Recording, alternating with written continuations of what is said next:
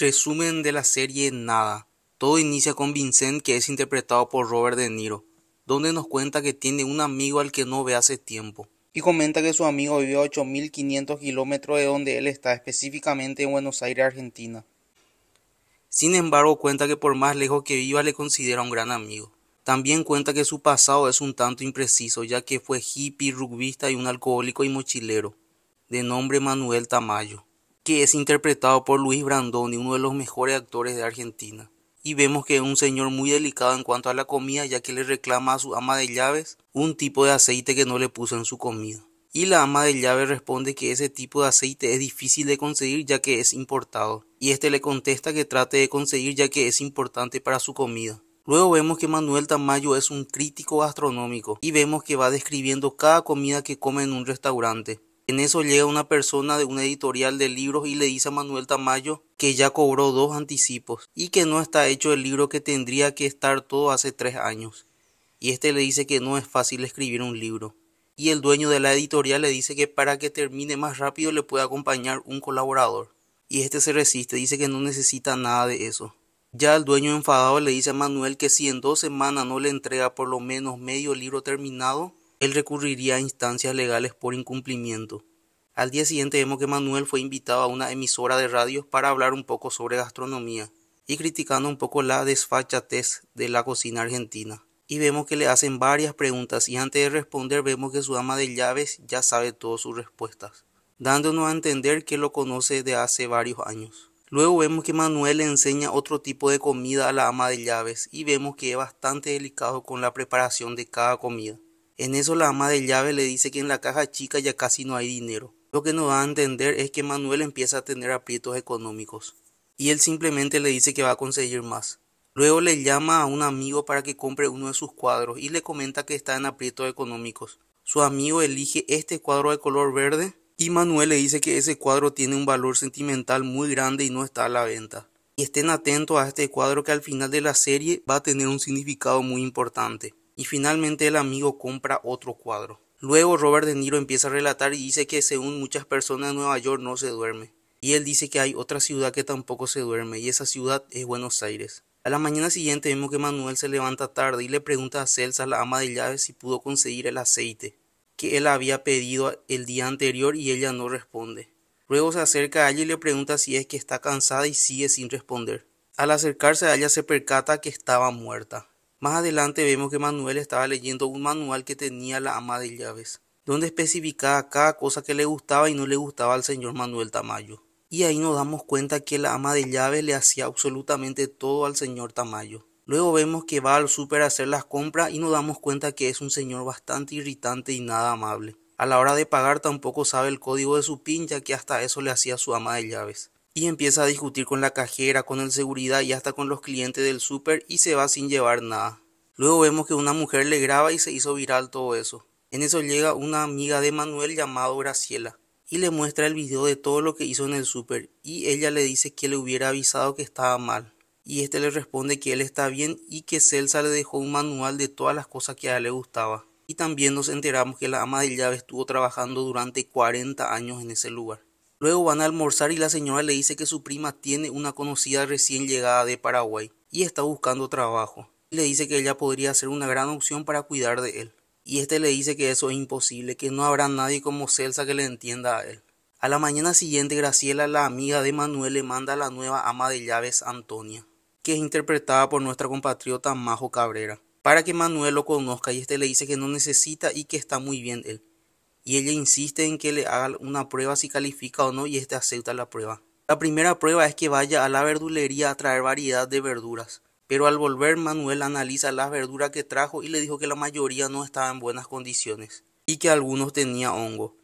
La segunda prueba es un poco complicada ya que consiste que tiene que vaciar todos los estantes, limpiar a fondo y poner todas las cosas en su respectivo lugar, así mismo como estaban. Finalmente logra poner cada cosa en su lugar, pero Manuel revisó y un medicamento ya estaba vencido. Y le reclama por esto, y ella le dice que simplemente puso todo en su lugar como él quería. Y este le responde que las cosas vencidas se tira a la basura, así que la segunda prueba tampoco aprobó. Y luego hace otra prueba que es limpiar el vidrio de su ventana, pero este tiene una forma de limpiar y no le gustó como limpió. Al día siguiente vemos que Manuel le habla a Graciela diciéndole que Antonia fue un desastre en su prueba, denigrando un poco a los paraguayos. Haciendo un poco de paréntesis, mucha gente se enojó por esta escena, pero hay que entender que el personaje de Manuel Tamayo es una persona arrogante, egocéntrica, egoísta y mucho más. Recuerden que es solo ficción. Continuando con la serie, Graciela le dice que le dé otra oportunidad ya que Celsa tardó 40 años en entenderle. Y este le dice que no tiene 40 años más para volver a enseñar. Luego Manuel le dice a Antonia que no quedó ya que no es muy atenta. Y ella insiste y le dice que tiene una hija de 5 años en Paraguay y que necesita algo de dinero para mantenerla. En eso Manuel le toma una última prueba y es la de manejar y ella dice que sí sabe manejar, pero que no tiene registro y vemos que maneja pero bastante despacio. Y vemos los primeros insultos en guaraní. Luego vemos que la policía caminera, como se dice en Paraguay, le detiene y le pide documentos. Pero Manuel Tamayo es muy bueno persuadiendo y le dice que le deje ir ya que él es una persona sincera y no piensa sobornarlo. Y el policía cede y le deja ir. Por la noche Manuel le dice a Antonia que todo lo que hizo fue con mucho esfuerzo, pero que no funcionó, que pronto encontrará algo mejor. Por último le dice que en la heladera hay algo de comida si quiere preparar algo. Y Antonia prepara un plato muy típico de nuestro país, como es el boribori. Y De Niro explica que por más que los dos no hablen el mismo idioma, hay algo que tienen en común, y es el placer por la buena comida. En eso Manuel se va a la cocina y prueba la típica comida paraguaya que es el boribori, y por los gestos que hace quedó muy satisfecho por la comida. A la mañana Manuel lo contrata ya que piensa que le sería útil en la parte de la cocina, ya que la noche anterior había probado su comida y le gustó, y le manda a la carnicería a comprar lomo para hacer milanesa. Luego Robert De Niro empieza a explicar algunos insultos que suelen utilizar las personas de Argentina y su significado, algo que no voy a decir para que no me bajen el video. Y luego Manuel explica que la milanesa él siempre prepara con lomo, y le enseña a Antonia cómo se prepara una buena milanesa. Al terminar la milanesa al señor Manuel Tamayo le gustó bastante la comida. En la noche Antonia empieza a leer el manual que dejó Celsa para entender mejor lo que le gusta al señor Manuel. Y en eso vemos una breve participación de otro gran actor argentino, Guillermo Francella, que en este caso es un comprador de autos que estaba interesado en comprar el auto de Manuel. Empieza a regatear el precio ya que dice que el auto está muy viejo y es un modelo antiguo. A medida que pasa la conversación se vuelve más tenso y al final no llegan a ningún acuerdo ambos y no le vende el auto. Luego Graciela le enseña a Antonia para manejar mejor así para que ella más adelante pueda sacar el registro y poder llevar a cualquier lado al señor Manuel. Y le pregunta qué tal es trabajar con el señor Manuel. Y ella responde que todo bien. Y ella le comenta que en el pasado llegó a ser su pareja y conoce lo irritante que es el señor Tamayo. Más adelante vemos que Antonia empieza a estudiar las normas de tránsito ya que al día siguiente sería su examen final para saber si le aprueban o no el registro. Al día siguiente Antonia le da la noticia que sí aprobó y que ya le darían el registro de conducir. Y Manuel le dice que a la noche le llevaría a cenar a un lugar lindo.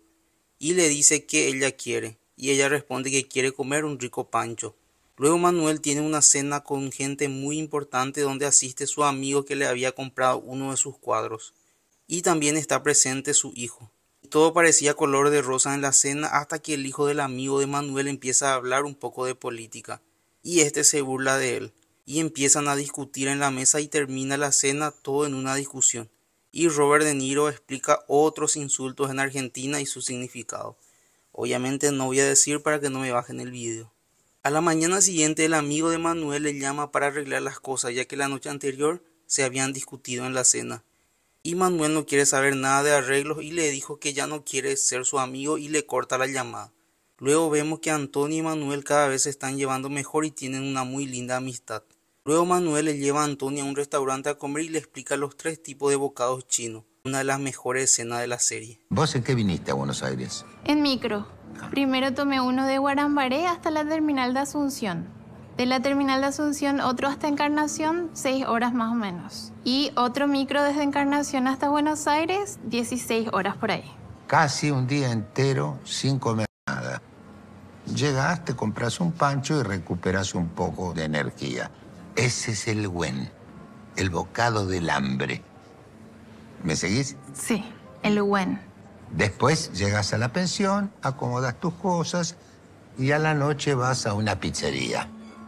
Esa pizza ya es una elección, no una necesidad. Ese es el SAO. El SAO.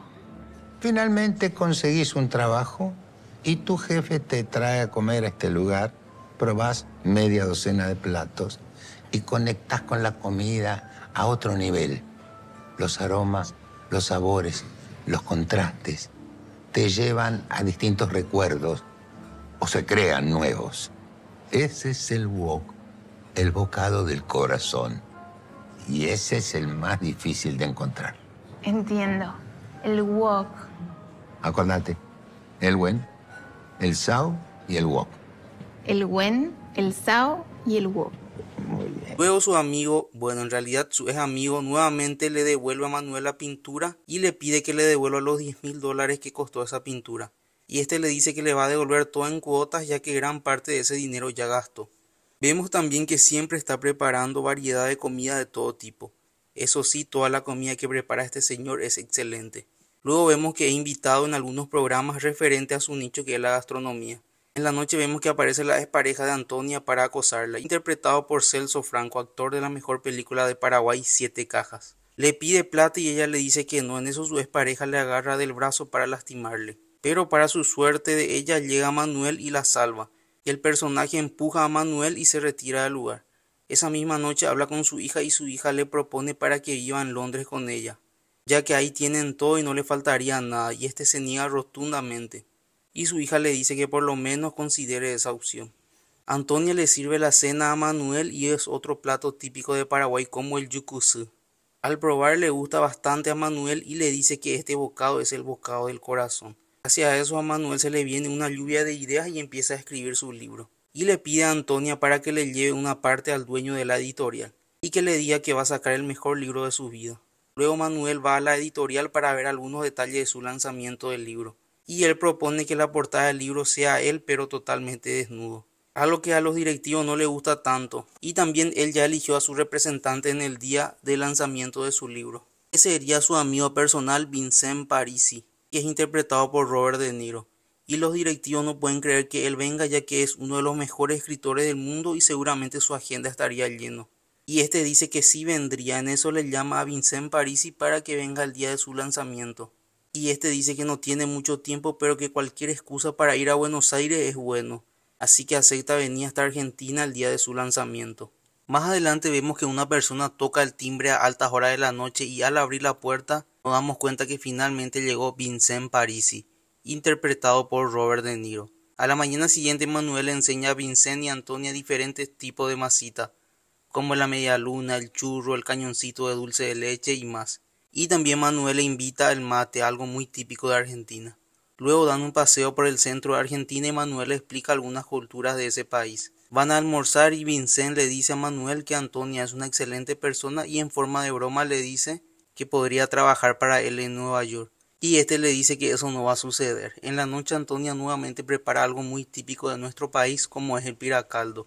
Y Vincent y Manuel quedan asombrados de lo rico que es y Vincent le dice que ella tendría que abrir su propio restaurante. Finalmente llega el día del gran lanzamiento del libro de Manuel Tamayo y se presenta con su amigo personal Vincent Parisi. En eso Antonia recibe una llamada de su tía y por la cara que lleva Antonia no parece ser una buena noticia. También vemos que la portada del libro fue Manuel Tamayo desnudo, algo que él había propuesto. Vemos que Vincent explica un poco la hipnosis del libro y vemos que el asiento donde tendría que sentarse Antonia está vacío. Luego Antonia le llama a la señora Graciela y le dice que tiene que volver a Paraguay, ya que su abuela se encuentra en un estado crítico y también porque no tiene quien le cuida a su hija. Y Graciela en medio de la presentación le cuenta lo sucedido a Manuel. Y justo cuando a Manuel le tocaba decir algunas palabras, este le dice a su amigo que continúe él con la presentación, ya que tiene algo muy importante que hacer. En eso Manuel llega a su casa buscando a Antonia para despedirse de ella, pero ella ya no está cuando encuentra una nota diciéndole que regresaría a Paraguay ya que su abuela está muy grave y se disculpa por no despedirse de él. En eso su amigo habla un poco de la vida de Manuel y le dice que hace 30 años se conocieron en Buenos Aires y que siempre fue una persona un poco terco y egoísta, pero que la ama de llaves de Paraguay le cambió su forma de pensar. Y este llega justo para despedirse de Antonia en la terminal. Y Manuel le dice que ella fue una de sus mejores personales y antes de irse le dice una última palabra a Antonia que ella no aprobó el examen para el registro de conducir, solo que ella no le dijo nada para que no sea despedida. Y su amigo relata que hoy día Manuel es una mejor persona gracias a ella. Luego De Niro relata cómo terminó todo esto. Y nuevamente tenemos otra referencia de nuestro país. Aparece una ciudad muy conocida como es Guarambare. Y vemos que a Antonia en Guarambare le llega un regalo. Y ese regalo era nada más y nada menos que uno de los cuadros que más quería Manuel. Y tenía un gran significado para él. Justamente el cuadro que vimos en los primeros capítulos de la serie.